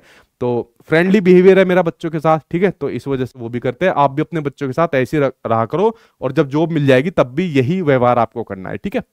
अगला देखते हैं, तब से मुझे याद आ रही है उन दोनों की। मेरा घर में मन नहीं लग रहा है ऐसा लग रहा है जैसे घर खाने को आ रहा है, घर के अंदर कुछ है ही नहीं, ठीक है? क्या करे भाई? अगला आपके सामने दिया हुआ है कि किसी भाषा के बोलने वालों की क्या भूमिकाएँ होती है? क्या ग्रामर यानी व्याकरण तथा शब्दकोश तैयार करने में भाषाविदों की मदद करते हैं? या वे अभ्यास तथा प्रचार से किसी भाषा का आधार बनाते हैं? या फिर वे केवल बोलने पर ध्यान देते हैं, ना कि लिखने पर देते हैं? बताओ सही आंसर क्या हो जाएगा? किसके साथ आप लोग यहाँ पर जा रहे हो? जल्दी आंसर बताइए, ठीक है? सर मेरा एडमिट कार्ड पेपर वन आया ही नहीं है। टेंशन मत लीजिए आपका एडमिट कार्ड आ जाएगा जो फाइनल एडमिट कार्ड है दो दिन पहले आएगा आपका ठीक है? तो टेंशन मत लीजिए। वो आपके बोर्ड का काम है उसमें आपको घबराने की ज़रूरत नहीं है ठीक है? बताओ भाई हाँ, कौन सा आपकी भूमिका होती है? जरा उसके बारे में आप लोग आंसर सही बताइए। आप लोग अलग अलग के साथ यहाँ पर जा रहे हो। देखिए सिंपल से एक बात बताइए। अगर यहाँ पर किसी की बोलने वाले की बात यहाँ पर कही जा रही है तो भाई जो आपकी ग्रामर होती है, शब्दकोश तैयार होते हैं, उसमें भाषाविदों की हेल्प करता है। जैसे आप लोग भाषाविद पढ़ते हो फॉर एग्ज़ाम्पल आपने नोन चोमस की पढ़ लिए स्टीफन ग्रेसन आपने पढ़ लिए जो आपको अपने भाषा के बारे में बताते हैं, भाषा बच्चा कैसे सीखता है तो उसमें आप उनकी हेल्प कर सकते हो और प्रैक्टिस और प्रचार से किसी भाषा का आधार यहाँ पर बना सकते हो। लेकिन केवल बोलने पर ध्यान देते ना कि लिखने पर, जबकि दोनों के ऊपर आपके ध्यान देते हैं, ये पॉइंट आपका गलत है। तो पहला और दूसरा, कहा यार, पहला दूसरा थर्ड आंसर यहाँ पर आपका सही हो जाएगा और कौन यहाँ पर थर्ड के साथ जा रहा है? ज़्यादातर बच्चों का इसके साथ थर्ड के साथ जा रहा है, ठीक है? ठीक है भाई। सर, आप बोलो, हमको रोना आ गया। क्या करे भाई, ठीक है? ऐसी है, बच्चों का प्यार, ठीक है? तो एक्सप्रेस भी नहीं किया जा सकता। अब तब से याद आ रही है ग्यारह कितने बजे गए थे? सौ रुपये छोड़ कर आया था। एक बजे गए थे और तब से ऐसी हालत यार उनकी याद आ, आ रही है। जब हम लोगों की क्लास खत्म भी हो जाएगी ना तब भी ऐसी होता है। जब आप लोग अपने एग्ज़ाम देने जाते हो कि भाई हमारा और आखिर आपका सफ़र यही खत्म होता है क्योंकि एक दो क्लास के बाद हमारा सफ़र खत्म हो जाएगा ठीक है? तो आपको देखना फील होगा ये वाली बात। मुझे तो फील होती है आपको भी ज़रूर फील होगा एक स्टूडेंट के तौर पर। क्योंकि कहीं ना कहीं अगर भावनात्मक रूप से दो पक्ष जुड़े रहते हैं तो फील तो होता ही है ठीक है? अगला आपके सामने दिया हुआ है कि शिक्षण की प्रदर्शन विधि, कौन सी विधि? प्रदर्शन विधि, यानी कि आपका डेमोस्ट्रेशन मेथड। कैसा मेथड होता है? आपका टीचर सेंटर्ड मेथड होता है। तो इसके दौरान एक विद्यार्थी को के अवसर प्राप्त होते हैं। किसके? अवलोकन, यानी कि ऑब्जर्वेशन के नोट बनाने के, प्रश्न करने के, या फिर आरेख बनाने के ड्राइंग बनाने के। बताइए सही आंसर क्या हो जाएगा? किसके साथ आप लोग यहाँ पर जा रहे हो? सही से अपने आंसर को जल्दी से बताइए। ठीक है? हाँ। बिल्कुल बिल्कुल। बताओ सही आंसर आपका क्या हो जाएगा? अच्छा देखो, यहाँ पर बात हो रही है, आपके डेमोस्ट्रेशन मेथड की बात हो रही है, प्रदर्शन विधि की बात हो रही है, जो कि मैं आप लोगों के लिए कर रहा हूँ। आपको डेमोस्ट्रेशन के रूप में सामने क्वेश्चन आ रहे हैं, सामने मान लीजिए मैंने कुछ आपको पिक्चर के माध्यम से समझाना है तो पिक्चर भी आ जाएगी। तो मैं यहाँ पर डेमोस्ट्रेशन मेथड का यूज़ कर रहा हूँ। लेकिन ध्यान रखना डेमोस्ट्रेशन मेथड बड़ी क्लास में आप यूज़ कर सकते हो, लेकिन अगर छोटी क्लास की बात हो जाए, जो आप लोग प्राइमरी पर प्राइमरी के लिए पढ़ते हो तो आप आप लोग प्लेवे मेथड कर सकते हो प्रोजेक्ट मेथड यहाँ पर यूज़ कर सकते हो, ठीक है? ये सब आपके चाइल्ड सेंटर्ड मेथड होते हैं। वो ज़्यादा आपको अप्लाई करने हैं। ये डेमोन्स्ट्रेशन मेथड हो गया लेक्चर मेथड हो गया, ये आपके शिक्षा केंद्रित विद्या होती है। ये नहीं करना, बाल केंद्रित विधियों का यूज़ आपको करना होता है, ठीक है? तो डेमोन्स्ट्रेशन मेथड के अंदर किस चीज़ का देता है? ऑब्जर्वेशन के, आप लोग यहाँ पर ऑब्ज़र्व कर रहे हो, आज तो सर जी खतरनाक खतरनाक क्वेश्चन लेकर आए, ठीक है? अच्छा ये पढ़ा रहे हैं नोट भी बना रहे हो, अरे भाई मैराथन क्लास में से ये दो तीन पॉइंट आ गए, इसका नोट बना लेता हूँ यहाँ पर, ठीक है? आप क्वेश्चन भी करो कि, सर, इसका ये नहीं ये नहीं हो सकता। तो आप लोग क्वेश्चन भी करो यहाँ पर, ठीक है? और कुछ यहाँ पर ड्रॉइंग भी करो, मान लीजिए इसी की आपको ड्रॉइंग करनी होगी, लेकिन वो आप लोग नहीं कर रहे होंगे, आप लोग सीधा स्क्रीन ले लेते हो शॉट में काम चला लेते हो तो सभी आंसर आपके सभी सही हो जाएँगे। पहला आंसर यहाँ पर आपका सही हो जाएगा। कौन सा? पहला यहाँ पर आपका सही हो जाएगा। आप लोग यहाँ पर अलग अलग के साथ जा रहे हो। देखते हैं भाई आपका नेक्स्ट क्वेश्चन क्या आ गया सामने स्क्रीन पर, जो अगला क्वेश्चन आपको दिया हुआ है। नेक्स्ट क्वेश्चन आपको दिया हुआ है। कि विज्ञान विषयों में सतत और व्यापक मूल्यांकन। सीसी की बात हो रही है कॉन्टिन्यूस एंड कॉम्प्रिहेंसिव इवोल्यूशन की पर बात हो रही है, ठीक है? तो साइंस में सीसी के अनुसार कम से कम कुछ रचनात्मक मूल्यांकन का आधार निम्नलिखित में से कौन सा होना चाहिए? क्या यहाँ पर राइटिंग स्किल यानी कि लेखन कौशल होना चाहिए? समूहों में परियोजना कार्य यानी कि प्रोजेक्ट वर्क होना चाहिए? संवाद कौशल यानी कि आपका कन्वर्जेशन यानी कि डिस्कशन होना चाहिए? प्रयोग क्रियाकलाप तथा प्रयोगशाला होनी चाहिए? बताओ। कम से कम कुछ रचनात्मक मूल्यांकन का आधार क्या होगा? इनमें से आप लोग बताइए, ठीक है? कुछ आपके मेथड ऐसे हैं जो आपके कई सारे रचनात्मक है, लेकिन आपको सबसे बेस्ट इसके अंदर बताना है, क्या आंसर आपका सही हो जाएगा, ठीक है? सर, पसीना उतार दिया आज आपने। कौन सा बदला ले रहे हो? जितेंद्र सिंह। क्यों भाई? सौरभ का डायलॉग क्यों भाई? निकाल दिया ना तेल। तो मैंने कहा हार्ड है भैया आपके लिए, ठीक है? तो इसे डिमोटिवेट मत हो जाना। ये एग्जामिनर ने अगर बहुत तगड़ी दुश्मनी आप लोगों से निकालनी ना, तब ऐसे क्वेश्चन पूछेगा, वरना एग्ज़ाम में ऐसा नहीं आएगा, ठीक है? तो टेंशन मत ले लेना, लेकिन अगर आप लोगों ने चीज़ें समझ ली तो आज भी आप लोग आराम से बीस प्लस लेकर आ जाओगे, इतना मैं आपको भरोसा दिलाता हूँ, ठीक है? बताओ किसके साथ यार, यहाँ पर जा रहे हो? देखो यहाँ पर बात हो रही है आपके किसकी? सीसी के अकॉर्डिंग यहाँ पर बात हो रही है साइंस की बात हो रही है। तो यार साइंस के अंदर, विज्ञान के अंदर हम लोग क्या काम करते हैं? कॉन्टिन्यूस एंड कॉम्प्रेंसिव एवल्यूशन आपको पता ही है, जिसमें बच्चे का शैक्षिक और शैक्षिक मूल्यांकन किया जाता है। सिंपल से अगर साइंस के अंदर एक टर्म आपको दिख जाए एक्सपेरिमेंट प्रयोग तो वो सभी को खत्म कर देगी, ठीक है? और उसके साथ में इसने दूसरा भी दे दिया लैब एक्टिविटीज़ तो अगर हम बच्चों को साइंस सिखा रहे हैं सीसी के अकॉर्डिंग तो हमको इसको एक्सपेरिमेंट के थ्रू लैब एक्टिविटीज़ के थ्रू लैब के अंदर हम लोग अलग अलग एक्टिविटी एक्टिविटीज़ करते थे, ठीक है? किसी के अंदर कोई सा केमिकल डाल दिया, कौन सा केमिकल डाल दिया, ठीक है? एक दिन तो ऐसा केमिकल डाल देता कि टीचर के कपड़े फाड़ देते। तो ऐसे ऐसी एक्टिविटीज़ हम लोग करते थे। तो ये सभी आपका आंसर फोर्थ यहाँ पर आंसर आपका सही हो जाएगा। अच्छा मुझे आप लोग क्वेश्चन बताओ, कमेंट बॉक्स में आंसर बताओ। अगर हमें बच्चों को एक लेबोरेटरी के अंदर उसको चीज़ें सिखा रहे हैं साइंस सिखा रहे हैं तो कौन सा मेथड सबसे अप्रोप्रिएट आपका हो जाएगा? Inductive method deductive method playway method या आपके सारे मेथड बताओ कमेंट बॉक्स में, कौन सा मेथड सबसे बढ़िया आपका हो जाएगा, ठीक है? नीचे कमेंट बॉक्स के अंदर इसका आंसर दीजिए मुझे, ये आपके मेथड के ऊपर हो जाएगा। नेक्स्ट क्वेश्चन आपके सामने आ गया। सामान्यकृत विचार, यानी कि आपके जनरलाइज व्यू की बात यहाँ पर हो रही है, तथा विशेषताएँ, जो एक पुरुष तथा महिला में होनी चाहिए, निम्न में से क्या कहलाई जाती है? क्या जेंडर रोल होता है? अच्छा मुझे बताओ जेंडर रोल किस स्टेज में बच्चों को आ जाता है? जेंडर आइडेंटिटी होता है। अच्छा मुझे बताओ जेंडर कॉन्स्टेंसी क्या होती है? जेंडर कॉन्स्टेंसी के बारे में कमेंट बॉक्स में बताओ। क्या जेंडर डिस्पेरिटी की बात, यानी जेंडर असमानता की बात हो रही है?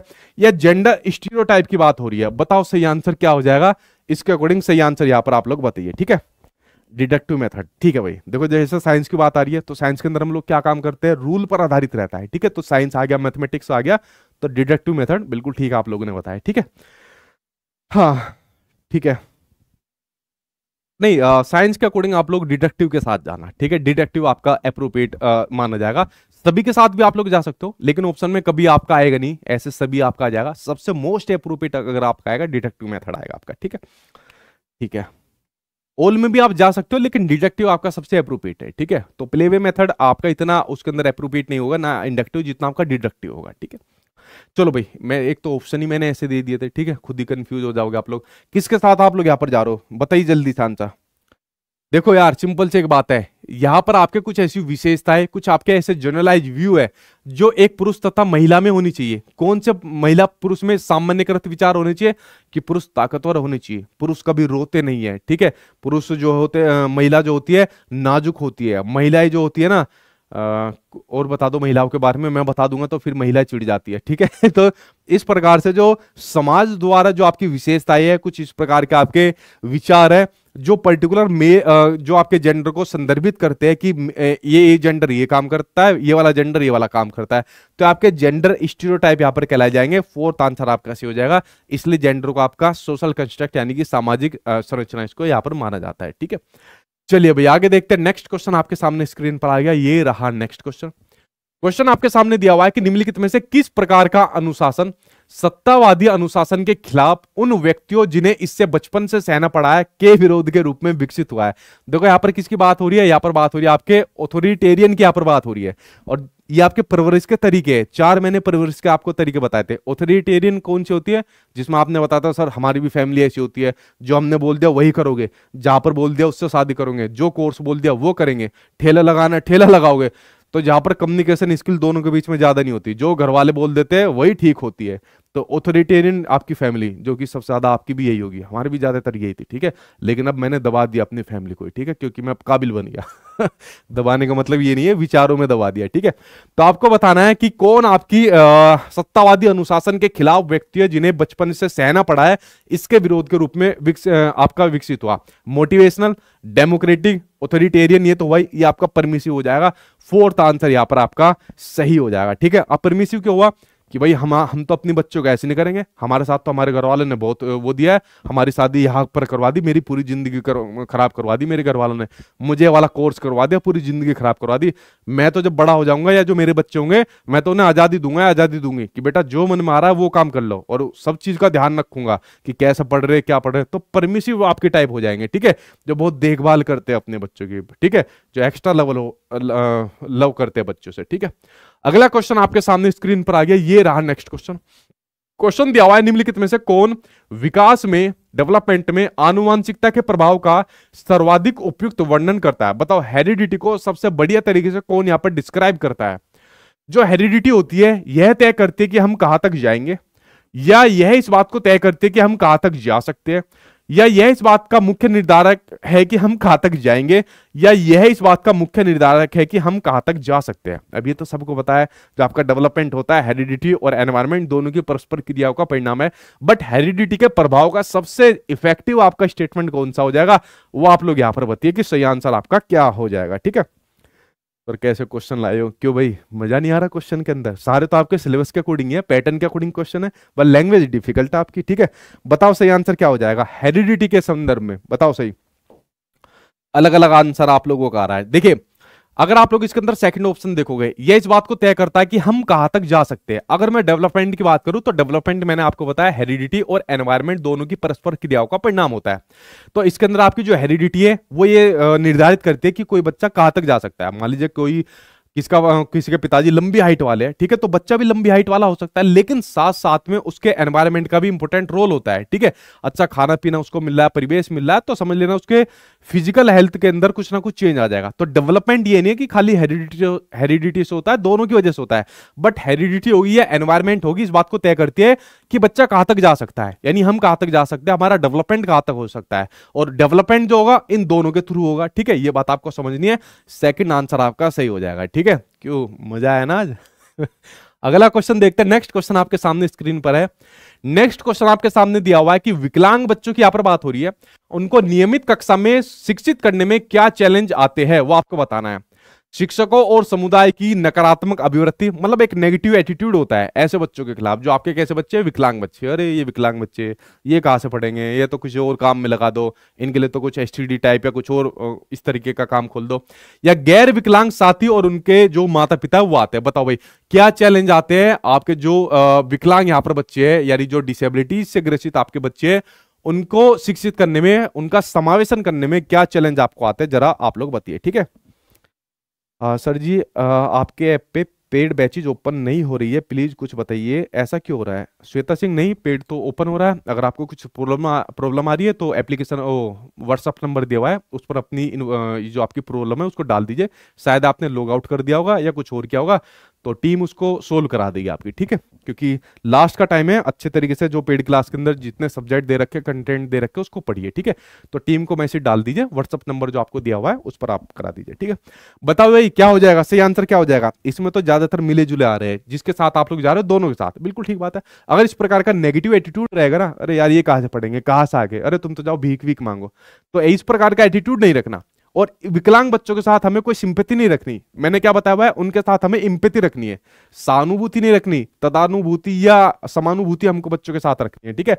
और नेगेटिव नहीं पॉजिटिव एटीट्यूड होना चाहिए। तो ये तो यार आपका गलत है, यानी कि ये चैलेंज आएगा। और यहाँ पर गैर विकलांग साथी अगर उसके हो जाएँगे, उनके माता पिता भी ऐसे ही हो जाएँगे, जो आपके विकलांग है, साथी भी, दोस्त यार भी विकलांग माता पिता भी विकलांग तो भी आपका चैलेंज बच्चे के सामने आएगा तो दोनों आ जाएँगे, ठीक है? तो दोनों आपके सामने आ जाएँगे।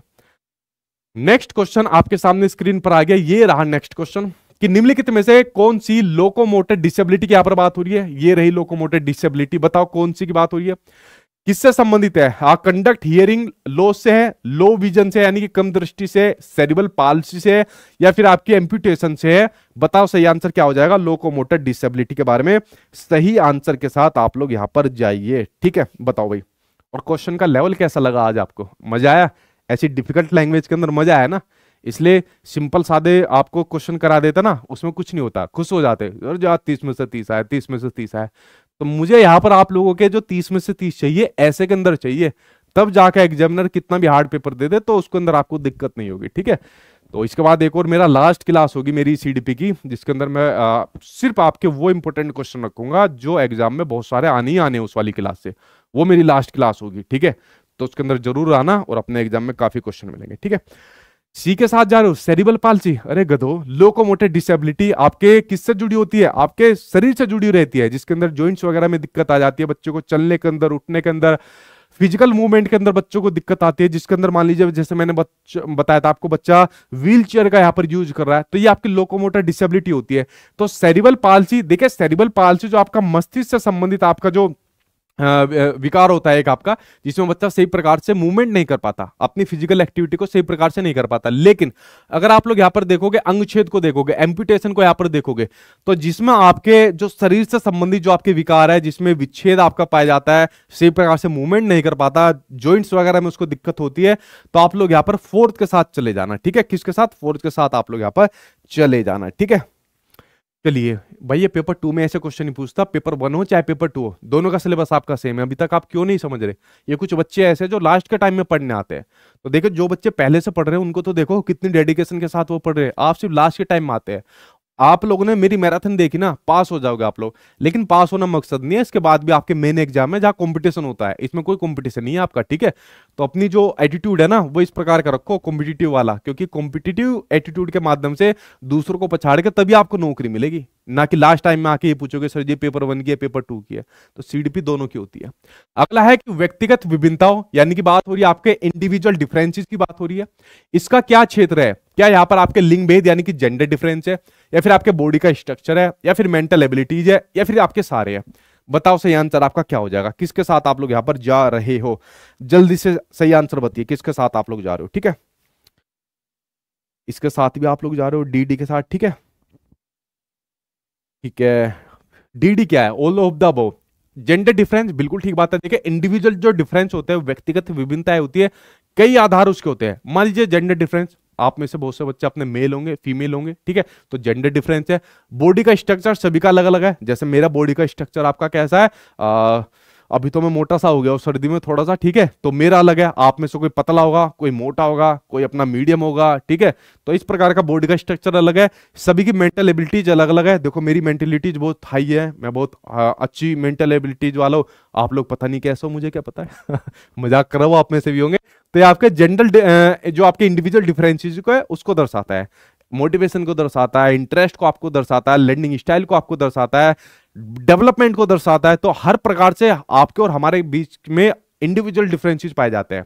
हमारा जो थम होता है ना, पूरी दुनिया के अंदर इकलौता हमारा है, और कहीं नहीं मिलने का ऐसा। जो हमारी आँखों का रेटिना होता है, जो स्कैन होता है, पूरी दुनिया के अंदर सिर्फ़ ही आपका होता है। हमारे आँखों के अंदर हाथों के अंदर जो रेखा है आप लोग देख रहे हो ना हमारे हाथ की रेखा है किसी और दूसरे की हाथ की रेखा से मिल ही नहीं सकती पूरी दुनिया के अंदर। तो देखो कितना इंडिविजुअल डिफरेंसेस पाया जाता है। तो ऑल ऑफ़ दी अबव होंगे और जो मैंने आपको बताया वो भी सभी हो जाएँगे। और अगला क्वेश्चन सामने स्क्रीन पर आ गया, ये रहा नेक्स्ट क्वेश्चन क्वेश्चन दिया है आपके सामने की शिक्षण अधिगम प्रक्रिया, यानी बात हो रही है आपके टीचिंग लर्निंग प्रोसेस की बात हो रही है, जो कि अभी हमारा चल रहा है। तो इसके संदर्भ में निम्नलिखित में से कौन सा स्टेटमेंट सही है? बताओ भाई। क्या टीचर को क्या यहाँ पर आपका अध्यापक केंद्रित कक्षा में विद्यार्थी सक्रिय विद्यार्थी होते हैं? यानी जो आपका टीचर सेंटर्ड है, यहाँ पर अप्रोच है, उसमें बच्चे एक्टिव है?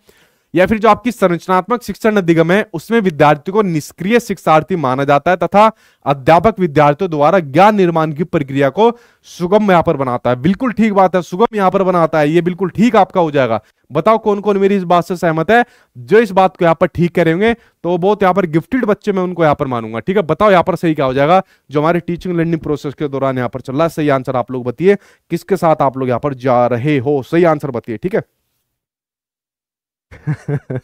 फंस गए। अरे गधो इसलिए मैं कहता हूँ सोच समझ के दिया करो। यार एक बात बताओ यहाँ पर आपका अध्यापक केंद्रित कक्षा है टीचर सेंटर्ड क्लासरूम की बात हो रही है, जिसमें सेंटर में कौन होता है? टीचर सेंटर्ड में होता है, ठीक है? और जो बच्चों को क्या मानता है? खाली बर्तन मानता है कि वो अपनी नॉलेज को डालता जाता है, बर्तन भरता जाता है।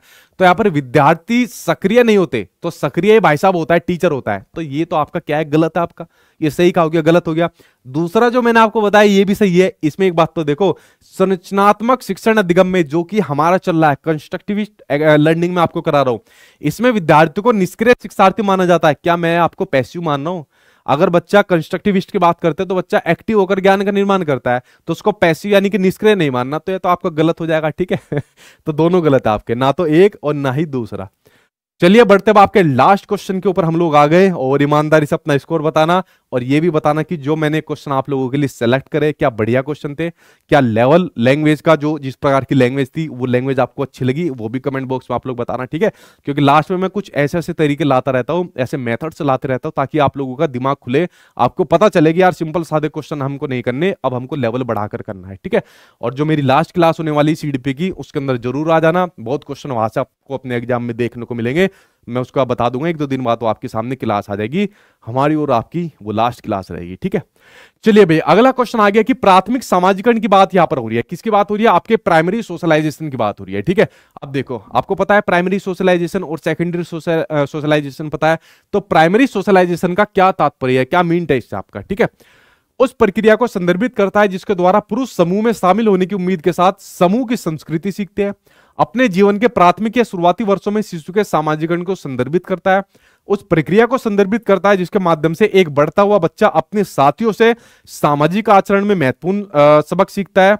या डी है कि पूर्व व्यवहार पैटर्न को हटाने और किसी जीवन में संक्रमण के हिस्से के रूप में नए लोगों को स्वीकार करने की प्रक्रिया को संदर्भित करता बताओ प्राइमरी सोशलाइजेशन के बारे में क्या यहाँ पर आपका ठीक दिया हुआ है, ठीक है? बताओ भाई, सही आंसर आप लोग बताइए। किसके साथ आप लोग यहाँ पर जा रहे हो, ठीक है? बिल्कुल ठीक। आज हम लोग पैंतालीस हज़ार इसमें हो गए, और मुझे उम्मीद है जो हमारी सीडीपी की लास्ट क्लास होगी, उसमें हम लोग पचास हज़ार ज़रूर हो जाएँगे, ठीक है? तो जितना भी सीडीपी का जो रिकॉर्ड है पूरे देश भर के अंदर तो सबसे ज़्यादा आप लोगों ने अपने सचिन सर का बनवाया हुआ है। अभी हमारा एक लाख दो हज़ार हुआ था। इससे पहले मैराथन में नहीं, तिहत्तर हज़ार भी हमारा हुआ। उससे पहले हमारा सत्तर हज़ार हुआ, तिहत्तर लैंग्वेज के अंदर हुआ था। उससे पहले पचपन हज़ार हमारा हुआ था। तो सारे रिकॉर्ड आपके अपने सचिन सर के पास यहाँ पर रखे हुए ठीक है? तो ये थैंक यू बहुत आप लोगों का इतना रिकॉर्ड आपने बना दिया, ठीक है? किसके साथ आप लोग यहाँ पर जा रहे हो? थर्ड और सेकंड या थर्ड क्या है? पहले थर्ड देखते हैं। उस प्रक्रिया को संदर्भित करता है, जिसके माध्यम से एक बढ़ता हुआ बच्चा अपने साथियों से सामाजिक आचरण में, यार एक बात बताओ प्राइमरी सोशलाइजेशन की बात हो रही है, जहाँ पर बच्चा सबसे पहले अपनी चीज़ों को सीखता है, मातृभाषा सीखता है, व्यवहार सीखता है। क्या वो अपने साथियों से सीखता है, समाज से सीखता है, अपनी फैमिली से सीखता है? अपनी फैमिली से सीखता है ना? अब ये अपने आस पड़ोस के लोगों से सीखता है तो अपनी फैमिली से सीखता है। तो यहाँ पर अपने साथियों से सामाजिक आचरण में महत्वपूर्ण सबक थोड़ी सीखता है। अगर आप लोग सेकंड को देखोगे, अपने जीवन के प्राथमिक या शुरुआती वर्षों में, जो शिशु के सामाजिकरण को, जो शिशु का सामाजिकरण है, जो अपनी फैमिली से सीख रहा है, उसको संदर्भित करता है। राइट आंसर यहाँ पर आपका बी सही हो जाएगा।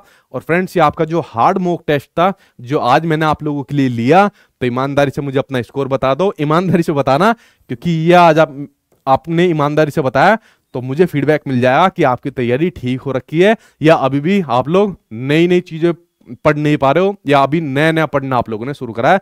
बताओ भाई ईमानदारी से आप लोगों का कितना स्कोर हुआ है, ठीक है? वन मिलियन होगा सर सीडीपी में फिर से। वन मिलियन तो नहीं हो पाएगा भाई, ठीक है?